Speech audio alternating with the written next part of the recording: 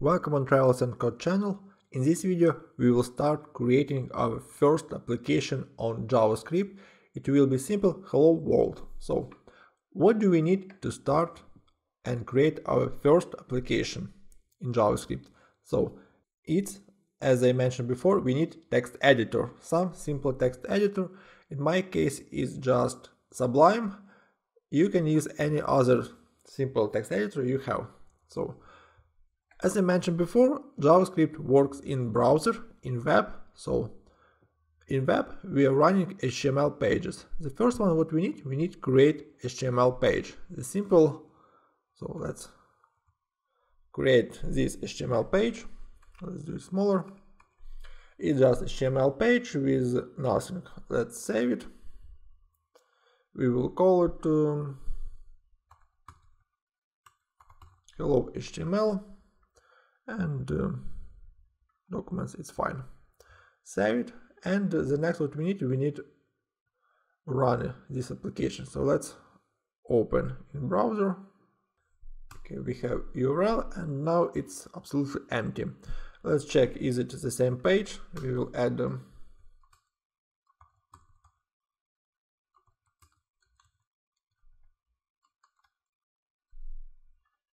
save reload? Yes it's our application. So the first thing what we need to learn about javascript how to embed javascript into html page. And the simplest and uh, only one way is with tag script. So let's write a script. And um, what do we have?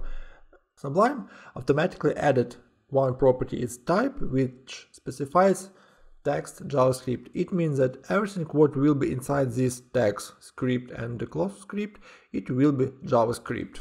So let's create our first application. It will be just alert hello world.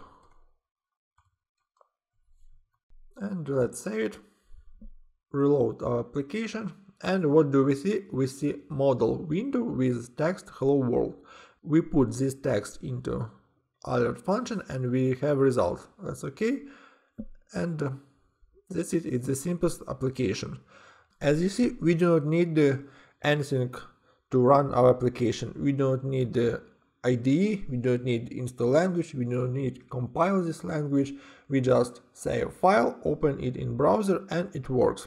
The next what, what I want to mention, let's talk a bit about this script tag and how we can use it. So the first one is type text JavaScript. Right now it's absolutely useless part and we can skip it because of browser by default works with JavaScript. So in the, nowadays you can remove it and leave just script and it will be the same. Let's check, save, reload. Yes, works as it worked before. The next one. The next one, what I want to mention another approach how we can include JavaScript with tag script. So right now we put everything in inside tag script, but usually we don't use this approach.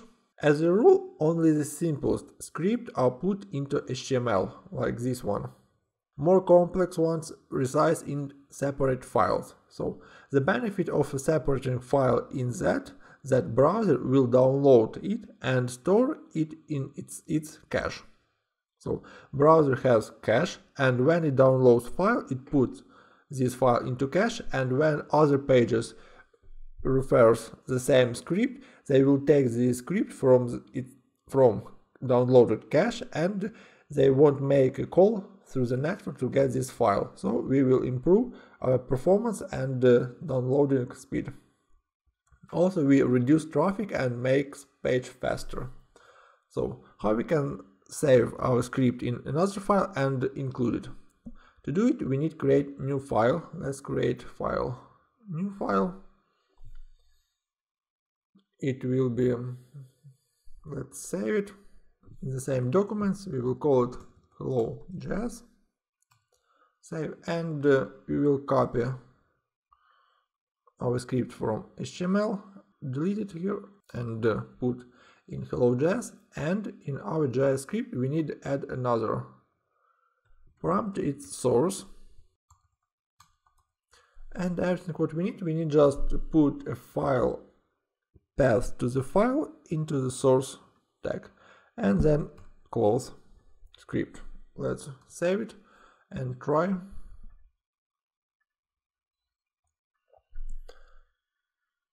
okay we need to put a path to the file into our source parameter. So if we have in the same folder we can just put hello.js as we saved it in documents folder save it and uh, reload. So and we see the same result. So it was the simplest way how you can create your javascript. And also just to sample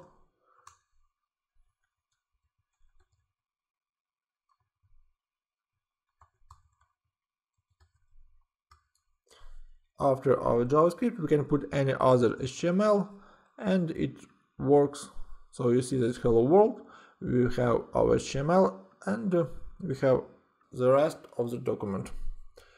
One more thing I want to mention that we have source and you can think that we can put something inside. But let's try it.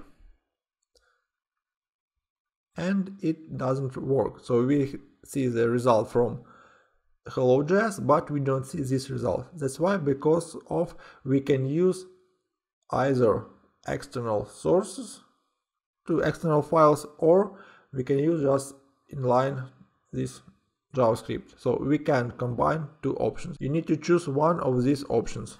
To solve the problem you can create another script tag and just move script to another tag and it will solve your problem. Hello, hello world 2 problem is solved. So it was the simplest way how you can create JavaScript application. Let summary, what do we know? We can use script tag to add JavaScript code to a page. Type tag attribute is not required right now, so we can replace this tag. And uh, a script is an external file can be inserted into our page with script attribute source. So in the future we will put all our scripts into separate files and include these files into our application. So thank you for watching